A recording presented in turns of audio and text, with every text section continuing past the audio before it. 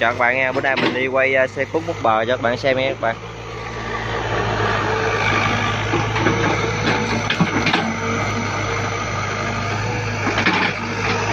Xe nó mới bò lên nãy giờ.